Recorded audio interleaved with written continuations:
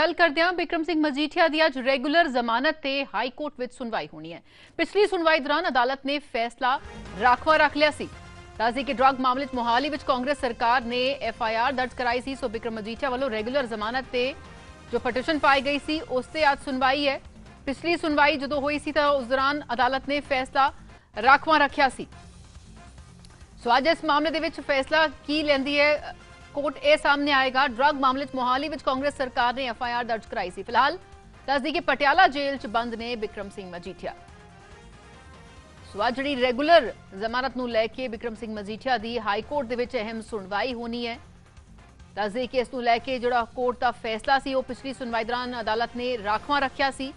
ਸੋ ਅੱਜ ਜਿਹੜਾ ਹੈ, ਕੀ ਕੁਝ ਫੈਸਲਾ ਸੁਣਾਇਆ ਜਾਂਦਾ ਹੈ, ਦੇਖਣਾ ਅਹਿਮ ਰਹੇਗਾ। ਨੇਹਾ ਦੇ ਨਾਲ ਗੱਲ ਕਰਦੇ ਹਾਂ। ਨੇਹਾ ਕੀ ਕੁਝ ਜਾਣਕਾਰੀ ਹੈ? ਕਿਸ ਵੇਲੇ ਇਸ ਮਾਮਲੇ ਨੂੰ ਲੈ ਕੇ ਸੁਣਵਾਈ ਹੈ ਕੋਰਟ? 'ਚ? ਦੇਖੋ ਦੇਖੋ ਅੱਜ ਕਿਉਂਕਿ ਅੱਜ ਕੋਰਟ ਫਿਰ ਤੋਂ ਸ਼ੁਰੂ ਹੋ ਰਹੀਆਂ ਰੈਗੂਲਰ ਹੀਅਰਿੰਗ ਸ਼ੁਰੂ ਹੋ ਜਾਣਗੀਆਂ ਅੱਜ ਤੋਂ। ਔਰ ਅੱਜ ਉਮੀਦ ਹੈ ਕਿ ਇਸ ਕੇਸ ਦੇ ਵਿੱਚ ਫੈਸਲਾ ਆ ਜਾਵੇਗਾ। ਲੇਕਿਨ ਇਹ ਕੇਸ ਆ ਜੋ ਰੀ ਹੀਅਰਿੰਗ ਲਈ ਜਿਹੜਾ ਹੈਗਾ, ਉਹ ਅੱਜ ਲਗਾਇਆ ਗਿਆ ਹੈਗਾ, ਯਾਨੀ ਕਿ ਕੇਸ ਦੀ ਸੁਣਵਾਈ ਫਿਰ ਤੋਂ ਹੋਵੇਗੀ। ਔਰ ਇਹ ਜਿਹੜਾ ਹੈਗਾ, ਇਸ ਮਾਮਲੇ ਦੇ ਵਿੱਚ ਕੁਝ ਜਿਹੜੇ ਆਰਗੂਮੈਂਟ ਹੈਗੇ ਸਨ, ਉਹ ਕੁਝ ਰਹਿ ਗਏ ਸਨ। ਇਸੇ ਕਾਰਨ ਇਹ ਕੇਸ ਫਿਰ ਤੋਂ ਰੀ ਹੀਅਰਿੰਗ ਲਈ ਆਇਆ ਹੈਗਾ।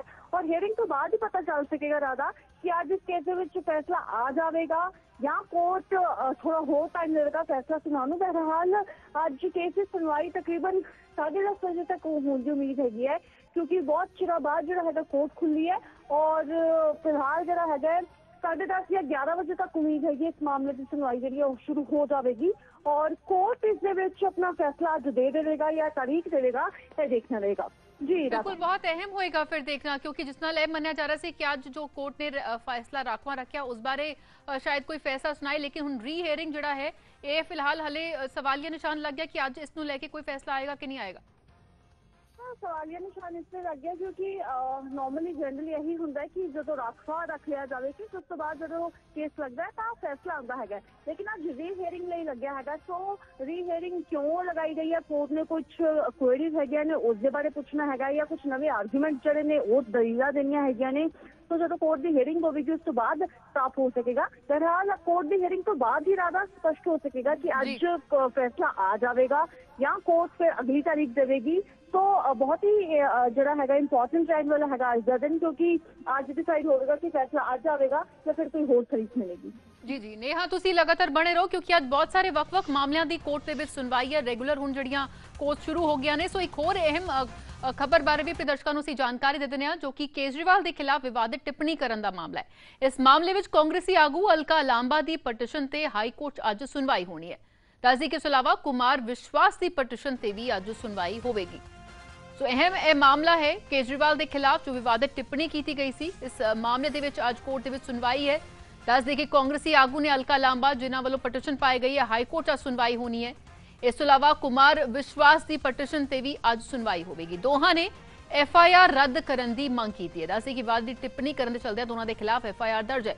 ਕੇਜਰੀਵਾਲ ਤੇ ਟਿੱਪਣੀ ਨੂੰ ਲੈ ਕੇ ਰੋਪੜ ਪੁਲਿਸ ਨੇ ਮਾਮਲਾ ਦਰਜ ਕੀਤਾ ਸੀ। ਅਜੇ ਵਿਚਕਾਰ ਅੱਜ ਇਹਨਾਂ ਦੀਆਂ ਪਟੀਸ਼ਨਾਂ ਤੇ ਸੁਣਵਾਈ ਹੋਣੀ ਹੈ, ਸੋ ਕੀ ਕੁਝ ਕੋਰਟ ਦਾ ਰੁਖ ਰਹਿੰਦਾ ਹੈ, ਦੇਖਣਾ ਅਹਿਮ ਇਸ ਪੂਰੇ ਮਾਮਲੇ 'ਚ ਰਹੇਗਾ। ਨੇਹਾ ਤੋਂ ਇਸ ਬਾਰੇ ਅਪਡੇਟ ਲੈਣੇ ਆ ਨੇਹਾ, ਇਹ ਜਿਹੜਾ ਮਾਮਲਾ ਰਿਹਾ, ਜਿਸ ਨਾਲ ਵਿਵਾਦਿਤ ਟਿੱਪਣੀਆਂ ਕੀਤੀਆਂ ਗਈਆਂ, ਅਲਕਾ ਲਾਂਬਾ, ਹੋਣ ਕੁਮਾਰ ਵਿਸ਼ਵਾਸ ਉਹਨਾਂ ਦੇ ਵੱਲੋਂ ਜੋ ਪਾਈ ਪਟੀਸ਼ਨ ਤੇ ਸੁਣਵਾਈ ਅੱਜ ਹੋਣੀ ਹੈ, ਕੀ ਕੁਝ ਜਾਣਕਾਰੀ ਹੈ ਇਸ ਬਾਰੇ? ਬਿਲਕੁਲ ਰਾਣਾ ਦੇਖੋ, ਦੋ ਐਫ ਆਈ ਆਰ ਹੈਗੀਆਂ ਸਨ ਜੋ ਕਿ ਹੋਈਆਂ ਸਨ, ਕੁਮਾਰ ਵਿਸ਼ਵਾਸ ਔਰ ਅਲਕਾ ਲਾਂਬਾ ਦੇ ਖਿਲਾਫ, ਰੋਪੜ ਦੇ ਵਿੱਚ ਹੋਈਆਂ ਸਨ। ਔਰ ਜਦੋਂ ਪਹਿਲਾ ਹੀ ਮਾਮਲਾ ਸੁਣਵਾਈ ਲਈ ਆਇਆ ਸੀ, ਤਾਂ ਹਾਈ ਕੋਰਟ ਨੇ ਕੁਮਾਰ ਵਿਸ਼ਵਾਸ ਨੂੰ ਜਿਹੜਾ ਸੀ, ਅੰਤਰਮ ਰਾਹਤ ਦਿੱਤੀ ਸੀ। ਯਾਨੀ ਕਿ ਅੱਜ ਦੀ ਤਾਰੀਖ ਤੱਕ ਜਿਹੜਾ ਹੈਗਾ, ਹਾਈ ਕੋਰਟ ਨੇ ਕੁਮਾਰ ਵਿਸ਼ਵਾਸ ਦੀ ਗ੍ਰਿਫਤਾਰੀ ਦੇ ਉੱਤੇ ਰੋਕ ਲਗਾਈ ਹੋਈ ਸੀ। ਸੋ, ਅੱਜ ਕੇਸ ਦੇ ਵਿੱਚ ਕੀ ਕੁਝ ਹੋਵੇਗਾ, ਰੱਦ ਹੋਵੇਗੀ ਜਾਂ ਅਗਲੇ ਕੀ ਕੁਝ ਆਰਗੂਮੈਂਟਸ ਹੋਣਗੇ, ਉਹ ਦੇਖਣਾ ਰਹੇਗਾ। ਬਹਰਹਾਲ, ਅਗਰ ਅਲਕਾ ਲਾਂਬਾ ਦੀ ਪਟੀਸ਼ਨ ਦੀ ਗੱਲ ਕੀਤੀ ਜਾਵੇ, ਤਾਂ ਉਸ ਦੇ ਵਿੱਚ ਕੋਈ ਅਲਕਾ ਲਾਂਬਾ ਨੂੰ ਰਾਹਤ ਨਹੀਂ ਸੀ ਮਿਲੀ। ਅਲਕਾ ਲਾਂਬਾ ਜਿਹੜੇ ਨੇ, ਪਹਿਲਾਂ ਹੀ ਜਿਹੜਾ ਹੈਗਾ ਇਨਵੈਸਟੀਗੇਸ਼ਨ ਜੁਆਇਨ ਕਰ ਗਏ ਸਨ। ਸੋ ਅੱਜ ਜਿਹੜਾ ਹੈਗਾ, ਦੋਨੋਂ ਦੇ ਪਟੀਸ਼ਨ ਦੇ ਉੱਤੇ ਸੁਣਵਾਈ ਹੋਵੇਗੀ, ਜਿਹੜੀ ਉਹਨਾਂ ਨੇ ਐਫ ਆਈ ਆਰ ਉਹਨਾਂ ਦੇ ਖਿਲਾਫ ਹੋਈ ਸੀ, ਔਰ ਇਹ ਐਲੀਗੇਸ਼ਨ ਸਨ ਕਿ ਕੇਜਰੀਵਾਲ ਦੇ ਖਿਲਾਫ ਭੜਕਾਊ ਬਿਆਨ ਦਿੱਤਾ ਸੀ, ਇਸੇ ਕਾਰਨ ਜਿਹੜੇ ਐਫ ਆਈ ਆਰ ਦਰਜ ਹੋਈ ਸੀ। ਔਰ ਅੱਜ ਐਫ ਆਈ ਆਰ ਰੱਦ ਕਰਨ ਨੂੰ ਸੰਬੰਧੀ ਜਿਹੜਾ ਹੈਗਾ ਪਟੀਸ਼ਨ ਦੇ ਉੱਤੇ ਸੁਣਵਾਈ ਹੋਣ ਵਾਲੀ ਹੈਗੀ ਹੈ। ਜੀ ਸੋ ਕਿਸ ਵੇਲੇ ਤੱਕ ਸੁਣਵਾਈ ਹੋ ਸਕਦੀ ਹੈ? ਕੁਝ ਇਸ ਬਾਰੇ ਜਾਣਕਾਰੀ ਹੈ ਨੇਹਾ? ਦੇਖੋ ਕਿਉਂਕਿ ਅੱਜ ਕਾਫੀ ਜ਼ਿਆਦਾ ਕੇਸਿਸ ਲੱਗੇ ਹੋਏ ਨੇ ਰੈਗੂਲਰ ਹੀਅਰਿੰਗਸ ਫਿਰ ਤੋਂ ਸ਼ੁਰੂ ਹੋਈਆਂ ਨੇ।